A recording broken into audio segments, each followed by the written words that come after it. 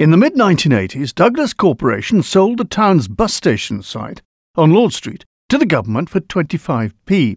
The hopes were it would be developed. Well, the years came and the years went, and so did numerous schemes. It is currently, of course, a car park. Among those schemes put forward was one from ShopRite.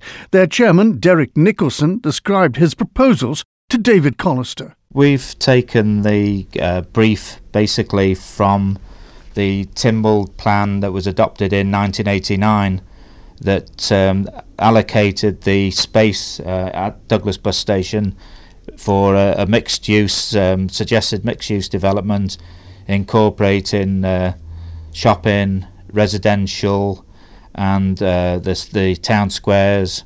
Um, the we, we've looked at the uh, architectural requirement on keeping the uh, the scheme that faces onto the uh, the harbour in, in in a style that is uh, complements existing uh, structures, and have taken regard that sometime in the future the intent is that the North Quay will be pedestrianised, and that we've allowed for easy access through uh, our scheme for people that can park the cars and can walk and link up with with the ultimate aim of being able to walk freely through uh, into North Quay. What size ShopRite store would you have there?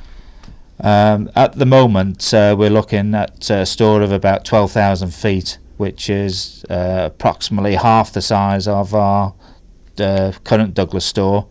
Uh, we've also got a lot of flexibility within the site.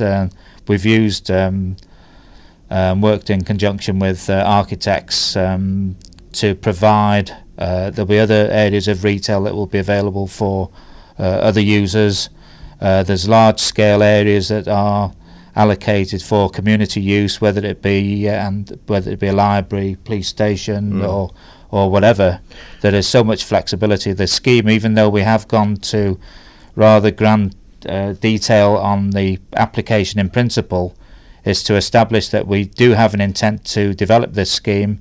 We would like to work in partnership uh, with government and or Douglas Corporation to give exactly what the uh, the town requires.